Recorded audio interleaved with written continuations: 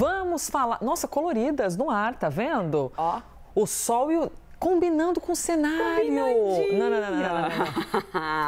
não. oh, Débora, a gente vai ter. Quem faz esse desenho? Não, a gente vai ter aqui, ó, no enquadramento da três, por favor. Aqui. Nós vamos fazer assim o jornal a partir de agora, tá, gente? Porque aqui elas são temáticas, é cada uma com a sua cor. De acordo com o cenário aqui do programa. Muito obrigada. Elas são, elas são bregas, né? Pronto, Elisa. Lembra que você está no trabalho, não é RH, vai te ligar aí no ramal do estúdio.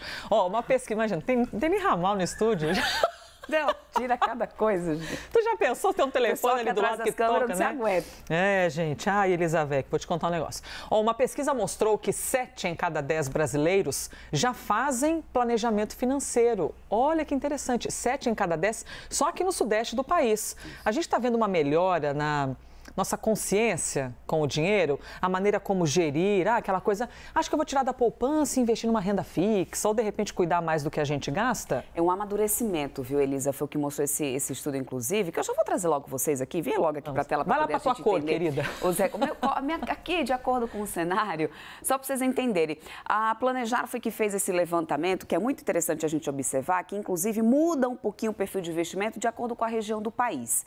A gente está falando aqui de grande maioria maioria, 70,4% dos brasileiros do Sudeste se preocupando em fazer um planejamento financeiro.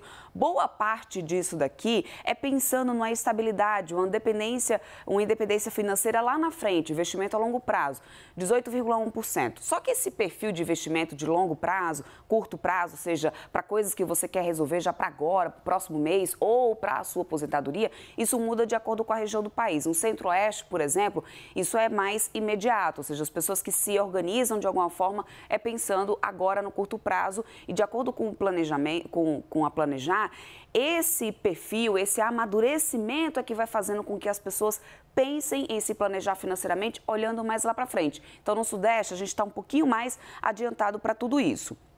Só que a gente está falando aqui de recortes regionais. Quando a gente pensa no Brasil como um todo, aí, olha só, a falta de renda acaba ainda sendo uma barreira apontada aí para pelo menos 29,3% dos brasileiros, quase 30%, dizendo: olha, eu não faço nenhum planejamento porque eu não consigo ter dinheiro suficiente para isso.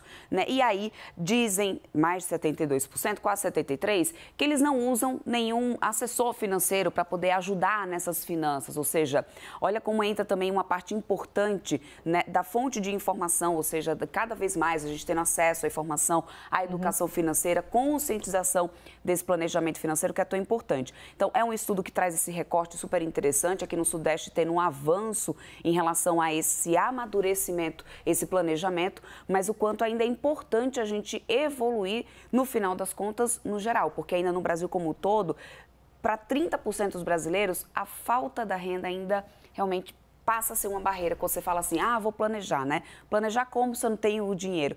Mas já estamos tendo é, planejamento. É, é, é, isso. Isso é muito importante para a gente sempre lembrar da existência desses brasileiros que têm de viver com salário mínimo. Se você não consegue nem, às vezes, comprar direito a fralda do neném, eh, pagar as contas, como é que você vai conseguir guardar um, um pouquinho? Mas, para uma outra parcela da população que tem o acesso a uma renda um pouquinho maior, tem sido cada vez maior essa realidade. E o último ponto que a Débora traz para a gente, olha lá, 72% não tem um assessor para ajudar nas finanças. Exatamente. E você vê o que é o, esse advento do YouTube, por exemplo, exemplo, e desses programas que falam sobre isso, isso é muito interessante, né, Débora? Porque isso fortalece as pessoas para elas, elas opa, para elas pensarem, puxa vida, então quer dizer que sem o gerente do banco eu consigo é, observar o que está acontecendo, ter uma renda fixa, algo um pouquinho mais fácil, cada vez mais pessoas com aplicativos de investimento, Exatamente por exemplo. Exatamente isso, porque está muito mais fácil, inclusive até os bancos né, digitalizados te instruindo muito mais, tornando mais intuitivo esse tipo de investimento de organização financeira, ou seja, está muito mais simples. Repare para poder pensar um pouquinho, Elisa, quando a gente era criancinha ali, há muito tempo atrás, numa galáxia muito, muito longe, a gente não via muito os nossos pais falando sobre essa questão de planejamento Nada, financeiro. É. Não era normal Na minha dia família dia. não era normal. É um tabu, né? Inclusive, falar, olha, quanto você ganha, quanto eu não ganho, quanto eu vou reservar para isso. Ou seja, isso para o brasileiro ainda é um tabu. E vem sendo quebrado, na verdade, ao decorrer do tempo, ao decorrer com que você consegue dar acesso a essa informação desse planejamento financeiro. Então, a gente já tem um grande amadurecimento nessa situação, claro, principalmente concentrado aqui na região sudeste, onde tem muito essa questão do centro financeiro e uhum. tudo mais, mas aos pouquinhos a gente está evoluindo. Perfeita. Débora Oliveira comentando com a gente aqui esse retrato e essa pesquisa que foi divulgada. Muito obrigada, obrigada Débora.